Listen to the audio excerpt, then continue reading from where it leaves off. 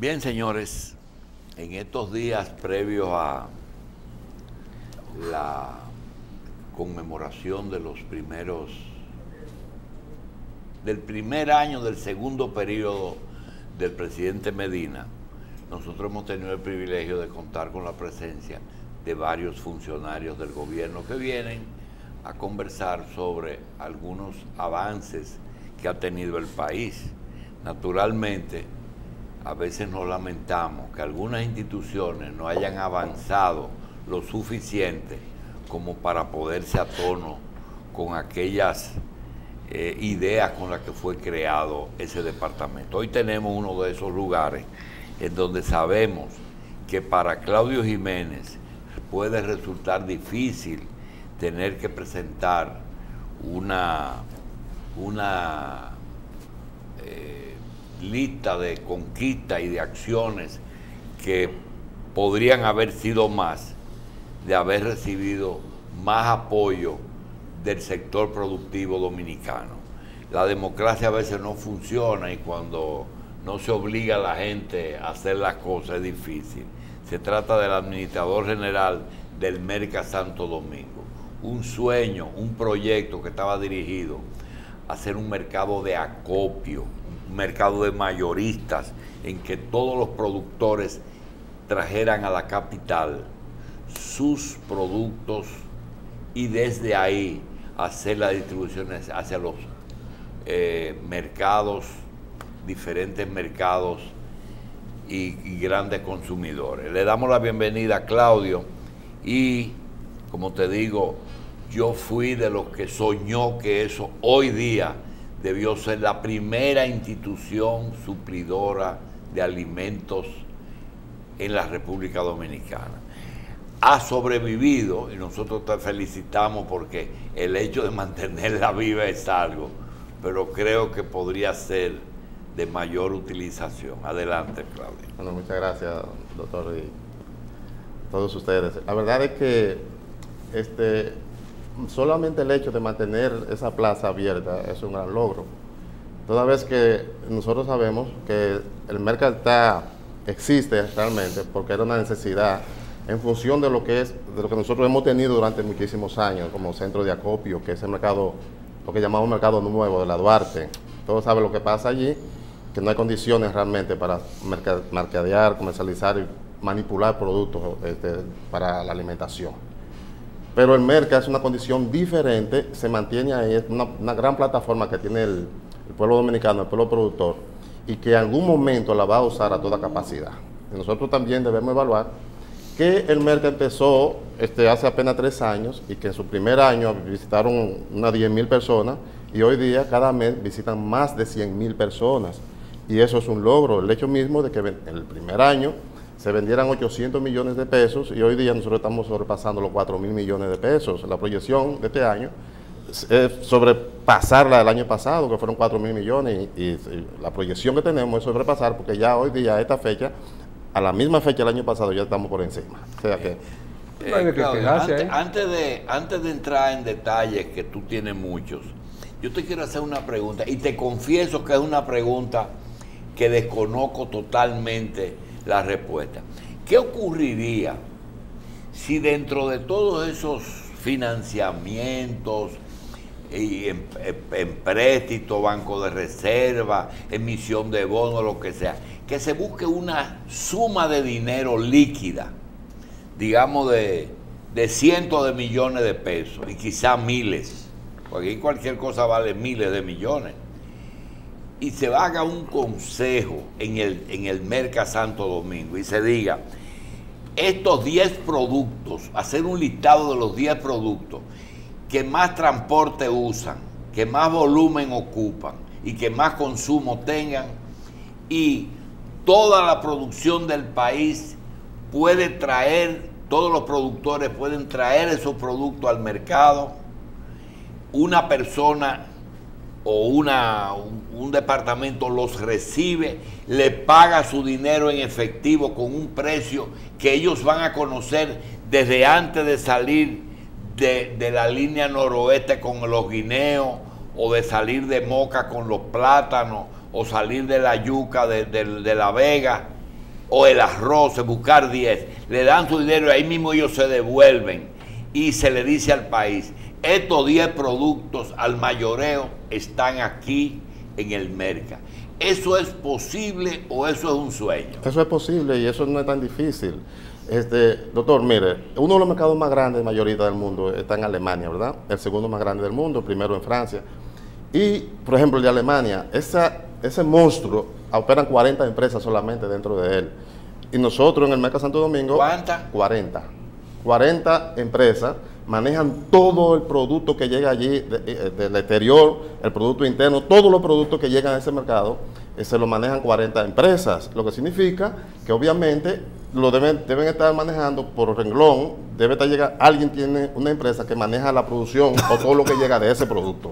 Es lo que usted está planteando. ¿Y esas 40 manejan todos los productos cada una un producto? No, no cada uno un producto, no, porque hay más de 40 productos. Lo que pasa es que es imposible que la gente pueda pretender que, que, todos los productores de yuca lleguen al mercado. Eso no puede ser, eso es imposible. Todos los productores de plátano tampoco. No hay posibilidad, eso no es necesario, eso es inmanejable.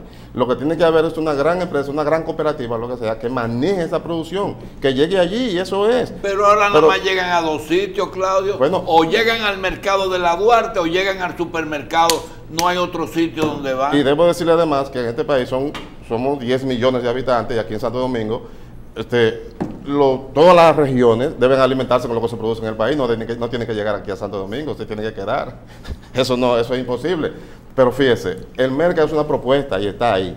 Y está funcionando al paso, debe funcionar en, el ritmo que va, está haciendo exactamente de manera, este, digo yo, pequeña, está haciendo lo que nosotros estamos planteando que se haga en el futuro, que sea de mayor proporción, porque están viniendo de los hoteles a, llevar mercancía, de toda la zona turística, pero también hay muchos restaurantes y supermercados que se están abasteciendo allí. Pero fíjese una cosa, doctor, hay muchos hoteles que tienen suplidores directos, que, no, que van a las fincas y llevan el producto directamente a los hoteles.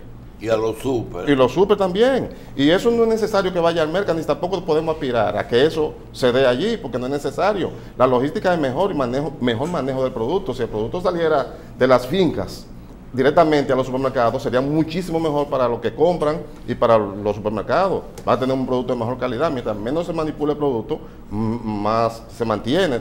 Es, es una condición que todo el mundo debe desear. Este, debemos tener conciencia de que ese tipo de mercados va, va a caminar de manera lenta. Los mercados en el mundo entero se manejan de esa manera, sucede lo mismo. Y tenemos que conocer también que tenemos un problema en la Duarte, porque la mayoría de los comerciantes importantes y mayoristas de productos de la República Dominicana están allí y ellos todavía no se han movido hasta allá. Es una, es lo, Pero son mercados diferentes, no son mercados diferentes. allí para abastecerse a, a instituciones y esto donde van los pequeños, eh, los, ventorrillos, como dicen, ¿no? Los que venden al detalle, se abastecen de ahí, del mercado nuevo, porque no se puede confundir ese mercado con esa cosa. lo que pasa Son cosas totalmente diferentes. No, lo que pasa, mm, tenemos que verlo diferente ahora, pero...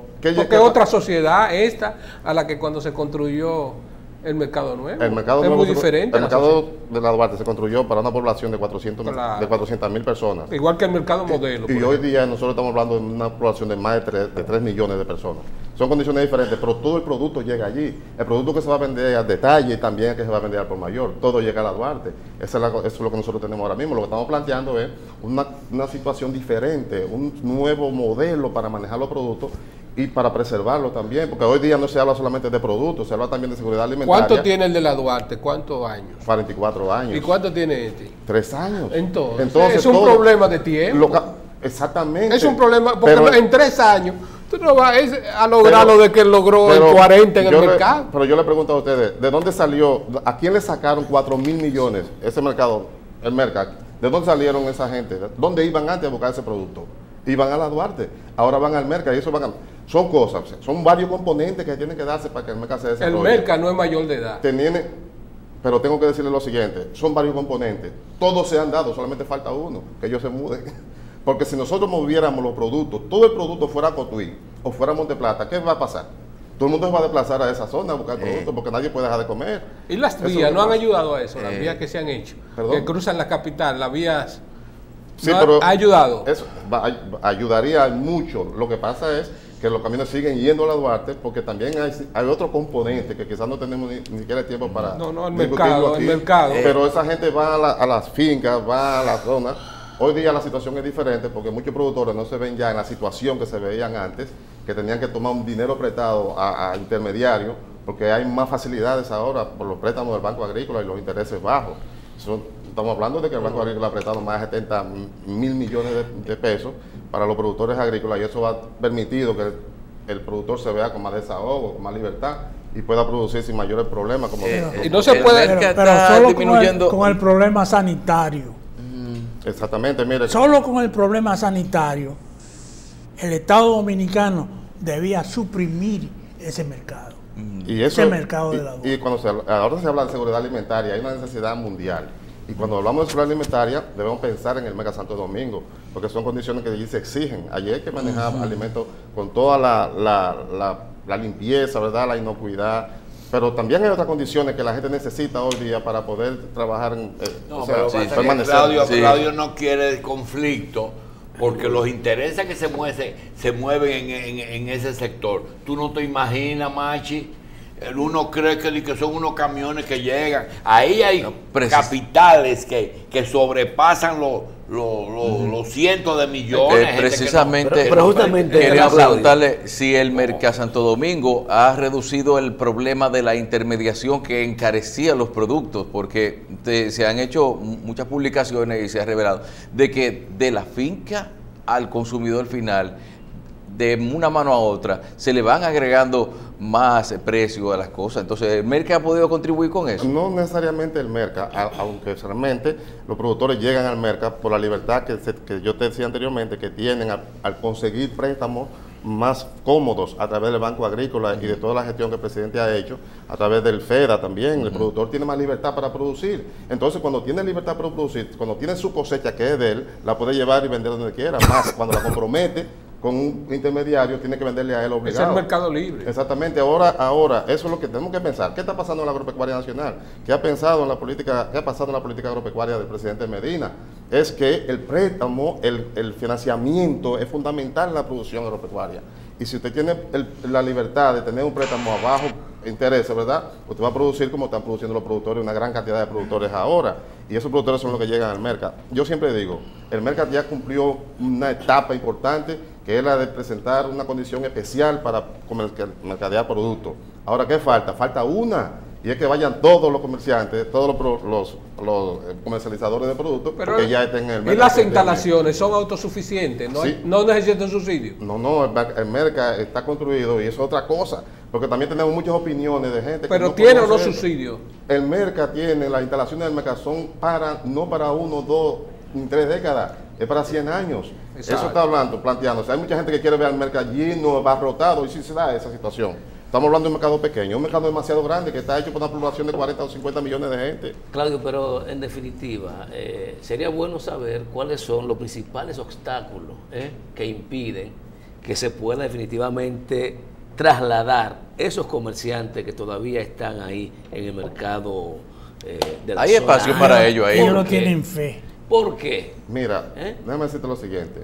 En todos los países del mundo, en todos los mercados del mundo, sea en países grandes o pequeños, trasladar a la gente de un sitio a otro no cuesta mucho. Eso es, un eso es paradigmático. La gente cree que si se muda le va a ir mal, aunque conozca perfectamente que tiene una condición diferente. ¿Y cómo lo vamos a explicar? Si tú te mudas de la Duarte al Merca, la gente va a ir allá porque ¿dónde está el producto? Es donde esté que lo va a ir a buscar. Lo que pasa es que ellos dicen, si tengo muchos años operando aquí, tengo una gran clientela que viene aquí, entonces este mercado debe quedarse como un mercado minorista.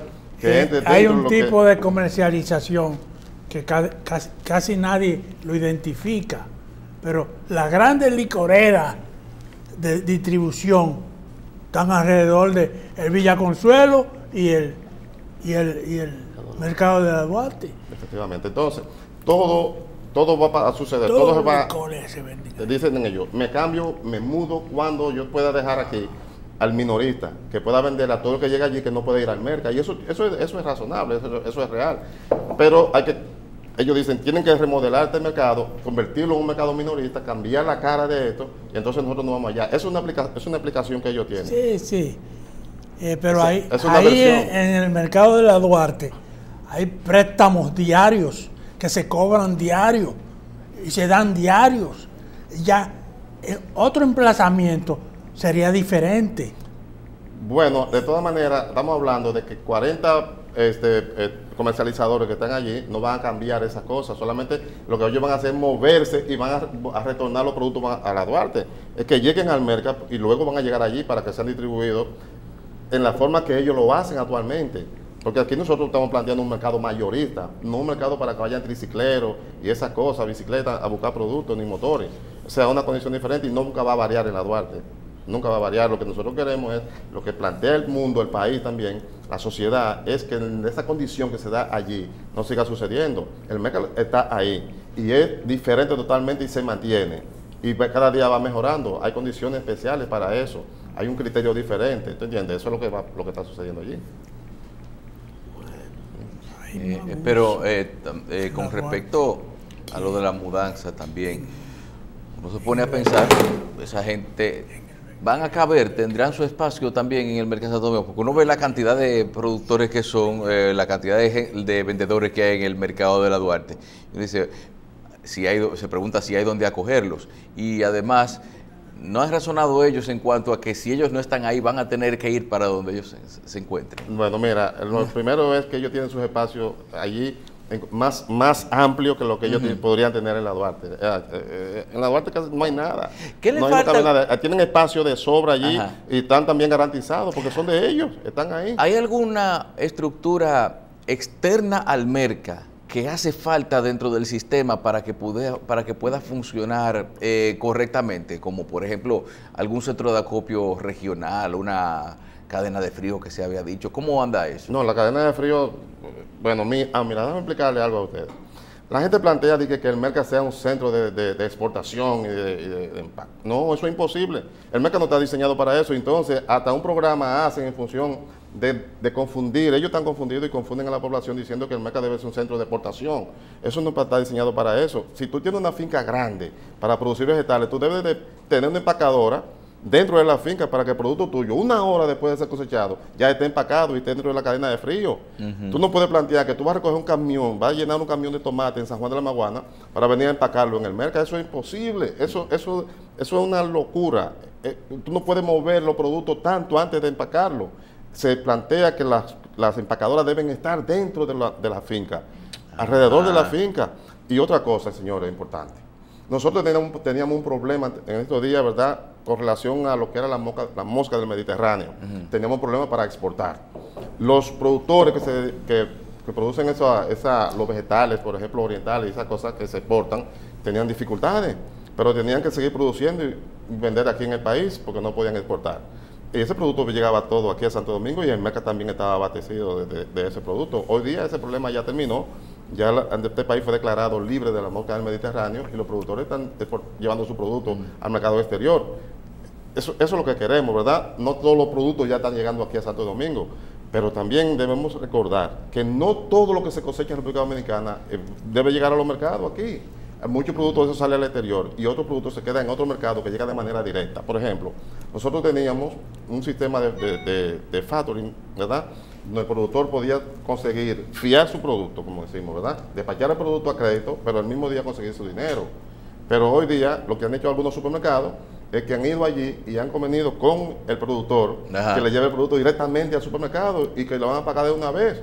Nosotros, mucha gente, usted va allá al mercado y no se va a encontrar con ese productor, ni lo va a comprar más a él. Y te dice, bueno, este tipo se desapareció de aquí, ¿sería que le fue mal? No, todo lo contrario, que él está ahí haciendo negocio directo ya con, otros, con los supermercados. Y por esos supermercados que han bajado mucho los precios. También porque a poder pagarle de una vez al productor, han conseguido mejores precios ¿verdad? Productos más frescos y el productor también está más contento. Todo eso se ha logrado a través de las cosas que hace el mercado. Claro. El comportamiento de los precios, don Claudio, en el, en el mercado, eh, hace que una persona, por ejemplo, que viva en San Isidro, se traslade a hacer una comprita ya, ¿le es rentable? Sí, sí, sí, definitivamente. Cuando usted va al mercado, porque son muchos muchos componentes que tienen que, que entran allí. Por ejemplo, la calidad del producto. Le va a durar más tiempo en la casa, va, va, a botar menos producto, ¿verdad?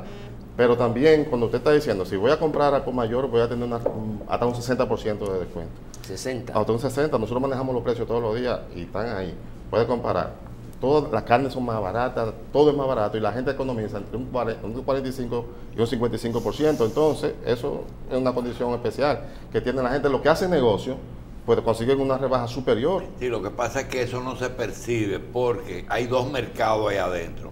Entonces, si usted va a comprar un producto al mayoreo, Al mayor. Te puede costar la mitad de lo que te puede costar en otro sitio. Pero si tú lo compras al detalle, a lo mejor el detallista se lo está comprando al mayorista de adentro y te lo vende caro. Entonces la gente no está Eso, el, doctor, no- el doctor no está diciendo que eso sucede, sino que podría suceder, pero nosotros tenemos control de eso. Los precios hay que publicarlos todos los días y to- todos los productos que entran al mercado, todos los vendedores tienen que colocar en los precios y nosotros monitoreamos eso. O sea, eso no puede suceder así. Lo que pasa es que hay gente que va hasta con la página de los periódicos allá. Dice, Bueno. mire, esto está más caro, esto está más barato. Ellos pueden decir eso, pero nosotros vamos a los supermercados y, chequeamos los precios de allá. Eso De es que el detallista no lo venda más caro. No lo venden más caro. Lo, mire, le voy a decir, si, si hay un camionero, ¿verdad? Que viene con su camión, un platanero. Él va a vender el camión a, a los a los que distribuyen allí. Nosotros controlamos esa- ese- eso. Sabemos cómo lo venden y a cómo ellos deben vender. Siempre debe- debemos comparar los precios de los supermercados y de otros mercados. Eso es una condición. ¿Cuál es el promedio del precio de un plátano allá? Bueno, los plátanos varían. Varía, los- pero hay varían, promedio. Pero no, no hay promedio, sí. sí, tendría que agarrar un plátano de 3 pesos y uno de 10 pesos. Pero los colmados tienen un promedio. eso- Depende de la velocidad es- que llegue. No, lo que pasa es que el plátano, mire lo que pasa. Si el plátano, el colmado va y te compra un tamaño de plátano. Te compra un tamaño, te compra plátano barajonero y lo vende al mismo precio todo, ¿verdad? O te compra plátano pequeño o plátano grande. Eso es lo- una decisión que se toma allí. Lo que en el mercado va a encontrar plátano desde 4 a todos los precios lo va a tener allí. Y va a promediar en función de eso. Claudio, Cuatro en adelante. eh, De 4 en adelante. si tú, si tú quisieras hacer no una crítica, sino una carencia, ¿qué te falta para que se lleve a cabo lo que tú tienes en la cabeza para el mercado? Mira, doctor, aquí Porque Todo. ya tú tienes un banco ahí que hace factory, Todo. ¿verdad? tenemos todos los servicios en el mercado. Seguridad, amplitud, todo lo que se necesita está allí dado. Lo único que falta es que todo el producto que se mercadea, por ejemplo, en Duarte, llegue al mercado. No estamos pretendiendo que todo lo que se cosecha en el país, eso no es posible que llegue al mercado. No es, Es necesario tampoco. Eso no es necesario. Eso es lo que hace encarecer los productos y todo llegar allí. Lo que tiene que ser, hay un público, hay un, un tipo de negocio que necesita abastecerse de un sitio y ese debe ser el mercado que lo abastezca.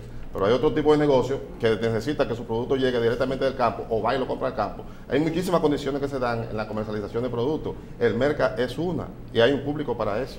Eso es lo que pasa. No hay posibilidad de que alguien se te salga del control y empiece a hacer negocios raros ahí adentro, porque los mercados son, hay de todo, sin embargo en el mercado yo no veo muchas cosas raras. Bueno, todo lo que pasa es que en, en el mercado hay mucha vigilancia. Nosotros tenemos personal que va a chequear todo. Bueno, le voy a decir esto. Nosotros tenemos una, procesadora de, soya para, leche, ¿verdad? Y otro alimento para, para animales. Bueno, el hecho de nosotros verla cerrada muchos días y ellos están pagando totalmente, siempre, sin problema, eso nos motivó a nosotros a ir y a exigir que nos abra la puerta para ver qué es lo que está pasando ahí dentro. Quizá eso es una información que usted, que, bueno, pero ¿por qué ellos están haciendo esto? Nosotros necesitamos saber que por qué ustedes tienen eso cerrado y están pagando. ¿Tú entiendes? Pero también suceden otras cosas. Todo, ah, bueno, tenemos la vigilancia, esa- pero también tenemos sistemas de monitoreo electrónico. Nosotros tenemos cámaras por todas partes. En el mercado también ha ido gente y han abierto carros. Pero ¿qué ha pasado con ellos? La cara se la, hemos visto aquí y lo hemos, están presos. O sea, esas son de las cosas que la gente busca Esa hoy día. gente que arre- arrendaron espacio allá y no lo usaban al principio, ya ustedes lo resolvieron, ¿eh? Estamos resolviendo. Lo que pasa es que eso- tenían contrato. que tenían contrato, pero nosotros, hay gente que creyó que eso era de ellos. Lo que hemos tratado de explicarle, hacerle entender que eso no es un bien de nadie en particular, es un asunto de- del- del, del pueblo, ¿verdad? Y ellos tienen que abrir. La ley me protege, nos protege. Nosotros no hemos querido, querido quitar los locales a la gente de manera arbitraria, porque la gente no entiende. Tú tienes dos empresas ahí adentro que no están bajo el control de ustedes, pero que son ma- manejan muy diferentes. Uno es donde se compran plásticos más baratos en el mercado, en un sitio Sí. ahí, y donde no ha podido prender como depósito de frigorífico es el, el- el frigorífico que hay allá. ¿Por qué esas dos diferencias? eh? Bueno, esas son compañías particulares. Y nosotros dentro del área de frío tenemos un por ciento y lo utilizamos perfectamente. Lo usamos de acuerdo a la necesidad que, te- que tenemos, que uno pueda tener. Este, tenemos todo el área, el área de frío para todas la- las situaciones, de acuerdo a la necesidad. Pero también, por ejemplo, las carnes necesitan eh, eh, una condición especial. Pero todos los negocios de carne tienen su área de frío bello de manera particular. Pero tienen mucho espacio en el 20% que nos corresponde a nosotros, ¿verdad? En la, en la compañía de en Alfridonza. Y ellos lo utilizan porque es un gran espacio y hay mucha gente que lleva grandes cantidades de carne que necesitan una condición especial, más espacio y todas esas cosas. Y ahí la tienen. No tenemos problema en eso.